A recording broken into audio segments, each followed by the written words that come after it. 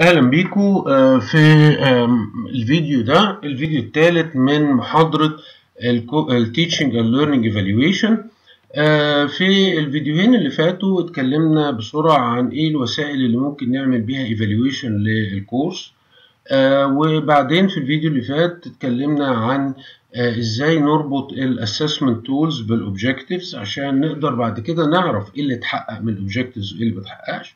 في الفيديو بتاعنا النهارده إن شاء الله هنشوف إزاي نعمل course report وال course report الحقيقة واحد من ال tools المهمة جدا اللي بتساعدنا على إن إحنا آه، نشوف أدائنا ماشي إزاي وإذا كنا بنتحسن ولا مش بنتحسن. فاول حاجة هي إيه ال sources of data إيه الحاجات اللي محتاجينها علشان نعمل ال course report أول حاجة هنحتاجها في ال course report هي ال student survey وال interview. أهم حاجة في ال course report لا مش أهم حاجة لكن هي أول حاجة عادة بنبتدي بيها هي وال assessment tools دي ال survey عادة اللي بيجمعوا ويعملوا تحليل بيبقى حد تاني مش أنت.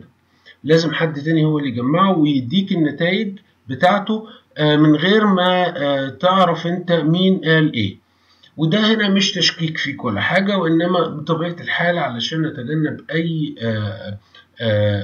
ميول شخصية زي ما ابتدينا كلامنا في ال evaluation إن مفيش حد فينا بيحب حد يقول له أنت عامل إيه كويس وعامل إيه وحش فلازم اللي يطلع لك الحاجة يبقى واحد مستقل وبعيد عن الكورس. تاني حاجة هي ال assessment tool results ودي اللي اتكلمنا عليها في الفيديو اللي فات.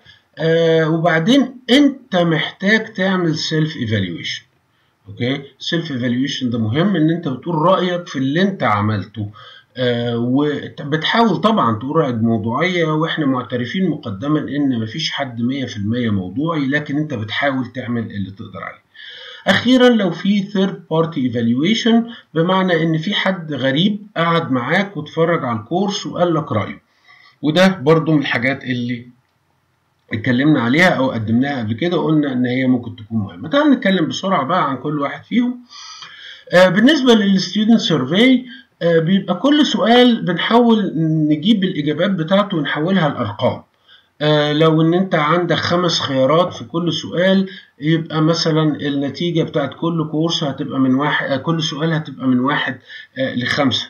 وبعدين برضو كل مجموعة من الأسئلة المفروض بتتكلم عن حاجة. في مثلا مجموعة أسئلة عن ال instructor performance في مجموعة أسئلة عن ال course material في مجموعة أسئلة عن ال classroom آه فنقوم نجمعها مع بعضها. إيه قيمة التجميع في sections دي؟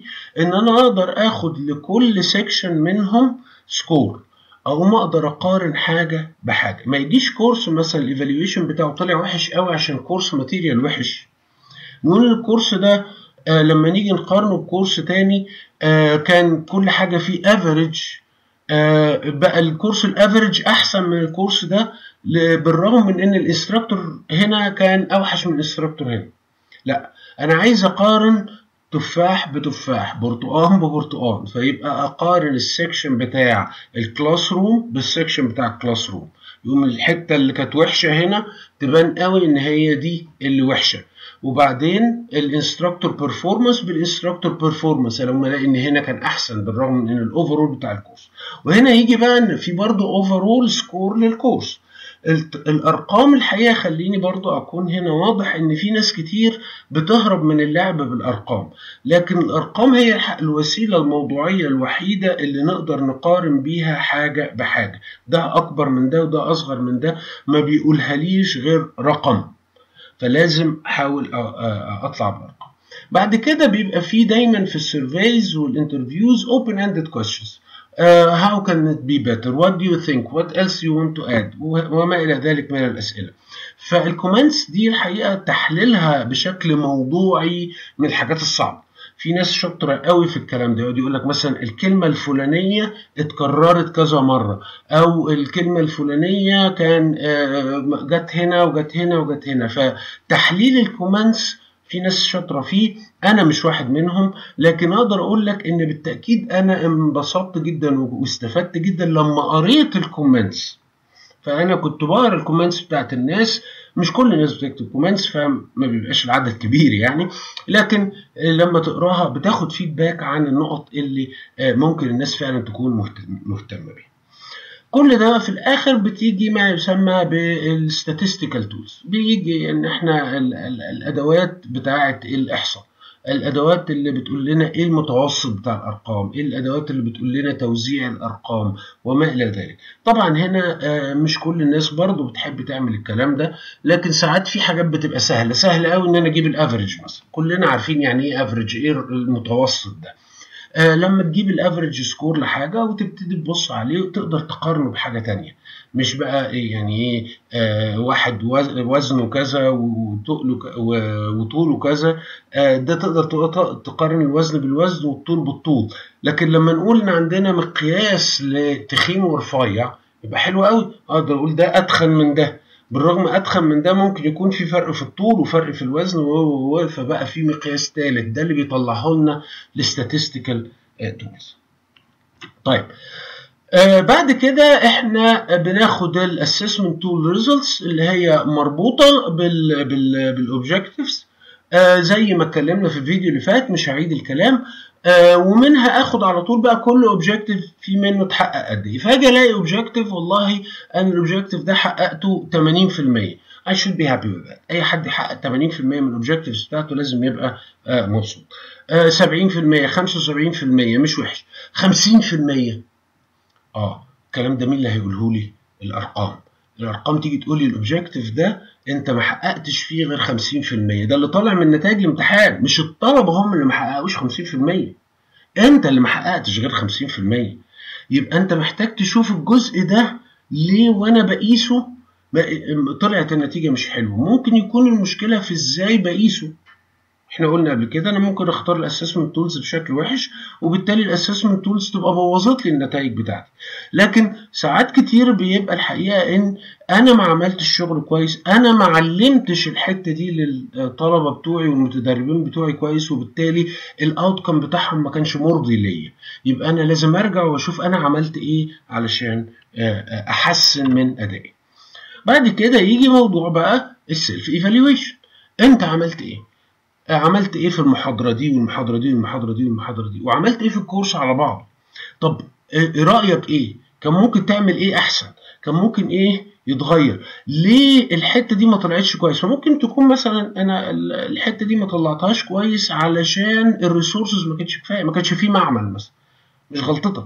okay؟ لكن ده معناه إن أنت بتطلب معمل. والله يا جماعة الحتة دي أنا ما طلعتهاش بشكل مرضي علشان محتاجين معمل. يلا عايزين نشتري معمل. أو والله أنا نفسي ما اشتغلتش كويس. كان المفروض أدي مجهود أكبر في الجزء ده علشان يطلع بشكل أحسن. المهم ال self evaluation ما تخافش منه. ال self evaluation ده المفروض أنت بتعمله علشان أنت تتحسن وعشان المؤسسة بتاعتك تتحسن وعشان الطلبة بتوعك يتحسنوا. فأنت عاوزه. بص عليه على إنه حاجة إيجابية ليك. عمر ما كان ال self evaluation من الشطاره إن أنا أدي نفسي امتياز في كل حاجة. بالعكس. خالص. طيب.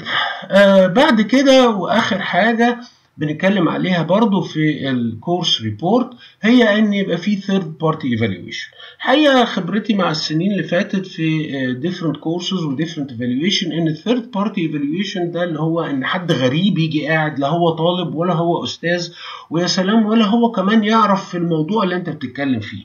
يعني أنا بدرس في الهندسة مثلا يجي يقعد معايا واحد أساسا تخصصه حقوق. Okay؟ ملوش علاقة بالمادة العلمية وإنما بيبقى عينه على إيه؟ بيبقى عينه على أنا أديت المحاضرة إزاي؟ أنا بتكلم بشكل كويس ولا لأ؟ يا ترى صوتي واضح ولا لأ؟ المادة العلمية أو الحاجات اللي استخدمتها في ال slides بتاعتي كانت مناسبة ولا لأ؟ آه يا ترى اتعاملت مع الطلاب كويس ولا لأ؟ كل ده مين اللي هيشوفه؟ اللي هيشوفه واحد مش مركز في المادة العلمية وإنما مركز في الأداء. طبعا في برضه ناس متخصصين في الكلام ده. الحقيقة اتعاملت مع أكتر من واحد منهم واستفدت منهم كتير جدا. وياما كمان الناس دي أنقذت بعض الأساتذة من الطلاب. ساعات الطلاب لما تيجي تقيم بيفرق معاها كتير قوي هو جاب درجات ولا ما جابش. فاللي يحصل إن أستاذ من الأساتذة بيعمل طريقة كويسة لتقييم أداء الطلاب. فالطلاب متضايقين مستغربين حاجة جديدة مش متعودين فيدوا له ايفالويشن وحش. مين اللي يقدر يقول ال الأستاذ عنده حق ولا الطالب اللي عنده حق؟ واحد طرف ثالث طرف محايد عايز مصلحة الاثنين هو اللي يقدر يجي يقول والله لا ده فعلا الاسلوب اللي بيستخدمه الأستاذ ده هو الصح بالرغم من إن الطلبة بيشتكوا منه لكن لا ده هو ده الأحسن للطلبة وهنحافظ عليه زي ما هو كده. أو يعرض بعض الحلول اللي تخلي الموضوع أكثر قبولا مع الإبقاء على الأسلوب الكويس وما إلى ذلك. فالمهم ده بشكل عام أنا يمكن بحب دايما أنبه لأهمية إن يبقى في ايفالويتور من خارج الموضوع ومن خارج الكورس ومن خارج التأثير اللي على الطلاب وعلى الأساتذة علشان في الآخر ده ممكن بيحسن أدائنا كويس. ده بقى اللي كنا عاوزين نقوله بالنسبة لموضوعنا موضوع ال preparation بتاع ال report هنتكلم في الفيديو الجاي إن شاء الله مع بعض عن بعض ال concerns أو بعض الحاجات اللي بتقلق الناس من ال course evaluation فإحنا في الفيديو ده اتكلمنا عن إعداد ال course report خلي بالك أنا كلمتك في فيديو 10 دقايق ربع ساعة. الحقيقة كان في كورسات جميلة جدا بتتكلم على ال course report preparation من أساتذة متخصصين ممكن الواحد ياخدها ويتعلم منها كويس. لكن حاولت أختصر لك الموضوع هنا في فيديو واحد كجزء من المحاضرة آه على أساس آه تحاول تشوف إيه اللي تقدر تعمله دلوقتي من الحاجات دي لغاية ما تلاقي resources تانية تتعلم منها إزاي تعمل الشغل بشكل أحسن. فأرجو إن إحنا نكون مع بعض آه الفيديو الجاي إن شاء الله عشان نشوف بعض ال concerns الحاجات اللي بتقلق الناس من ال course evaluation اشوفكم في الفيديو الجاي إن شاء الله.